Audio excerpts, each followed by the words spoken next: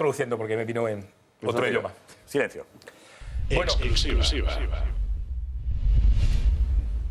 Avanzamos aquí y lo contamos de que eh, hubo una reunión eh, de Higuaín en París hace ya unos 22, 23 días, que la semana del partido de vuelta contra el Bayern, el presidente catarí del Paris Saint-Germain vino a Madrid para hablar con Kaká.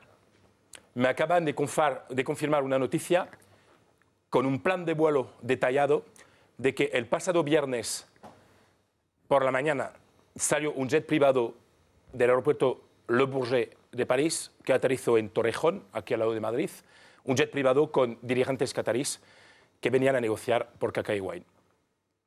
Es la noticia que tengo, es decir que ya hubo, se puede decir que hubo el primer contacto y que no, no dio para más. Bueno, si vuelven aquí, por algo será, ¿no?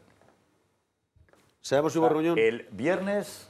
¿Qué era? ¿Fue el día de la, fi- no, la fiesta? Fue No, el no, jueves, día ¿no? siguiente. Fiesta fue el jueves. La fiesta fue el jueves por la tarde. O sea, cuando- eh, es verdad que, que ahí podemos decir, eh, cuidado, a lo mejor eh, acabaron hablando de Kaká y no de Higuaín, puede ser. eh, eh, ¿La prioridad del Saint-Germain cuál es, Frederic?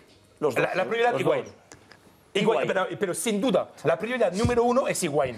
Empezar Pero un sin proyecto, Espera, no, no, empezar un no, no. proyecto con Kaká. No, No, espera, espera, Claro. espera, estamos dando información. No, por eso te digo, por eso te digo, por que Higuaín es el proyecto, Pero dicho sí tú. es la recámara. Kaká es muy importante. Y, y lo dije el otro día, están un poco mosca porque han visto que el nivel físico. Claro. Entonces, yo creo que si Kaká se va al París, van a hacer un, un repaso físico, un examen físico exhaustivo para estar seguro de que Kaká estará podría entrar en una operación con Higuaín. Pero el Claro. objetivo es Higuaín. No, es- pero el proyecto duda- pasa por Higuaín.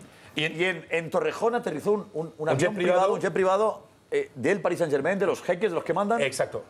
Eh, no sabemos si llegaron a hablar con. con Es que yo tengo el, que con Higuaín el- sí. A veces mm, son los planes de vuelo que cuentan. Claro. Y es el plan de vuelo. Eh, Salieron de Le Bourget y llegaron a Torrejón. Están bien informados mis contactos ahí porque... no, no llegaron a hablar con el Madrid. Es que eh, ahí, hasta ahí no llegó. Pero ya que ya hubo un contacto con Kaká, ya hubo un contacto directo con, con Higuaín, no sabemos si vienen a Madrid y vuelven otra vez, es que las negociaciones están avanzadas. Yo solo puedo dar una información de Kaká, que eso sí tengo, de Higuaín en ese sentido no. Que el club no tiene una oferta todavía por Kaká.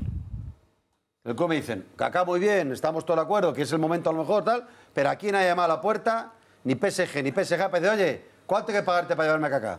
Dice, eso están esperando. ¿Por qué? por Porque- Higuaín tampoco. Bueno, a lo mejor venían por Higuaín. Yo, yo creo que el, Higuaín... el Madrid tiene alguna oferta ya. No, eh, formal no. no, ni Formal. formal ni, ni informal. No, bueno, informal, tú sabes que a través de agentes. Y primo los agentes siempre te digo, informal Pero sí, de pero verdad formal. decir, oye, con transferencia bancaria en el banco de la Fran, no sé qué, con tres plazos, no sé qué, eso no, eso en el Madrid. No, no, no, no, ni llegado. plazos ni cantidad. No ha llegado. Pero estamos hablando ya... No ha llegado. Estamos hablando ya no de un solo contacto de tal. Es decir, directamente con los jugadores es que ya son dos veces. Que primero se hace con el jugador, aunque no es del Dos todo... veces. Claro. Es que son dos veces. Si ves, por ejemplo, si Higuaín ve a la gente del Paris Saint-Germain, hablan y tal, y dicen, no, perdona, pero al final prefiero en Madrid, me quedo en Madrid y tal. No va para más. Pero es que está siguiendo esto. Llama a Pastore. Es que aquí mm, o en Twitter me decían, ah, Hermel, ¿has visto, eh? Que han confirmado que se queda. Muy bien, han confirmado Pastore que, que Higuaín está preguntando por París. El padre, el padre de Gonzalo, de Gonzalo Higuaín, ay, el padre, digo, el hermano, cuando habla en la entrevista que le hacen no sé quién, ¿quién hace la entrevista esta? Da igual.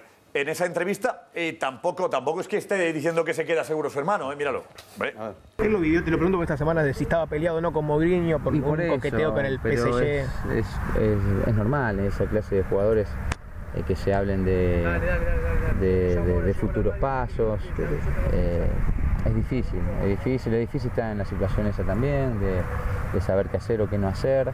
Él lo que, lo que sí sé es que está muy cómodo y súper tranquilo en Madrid, en el club, creo que en uno de los clubes más grandes del mundo, donde él es muy querido y seguramente que- querrá pasar mucho tiempo más ahí. La primicia, no se va del, del Madrid entonces.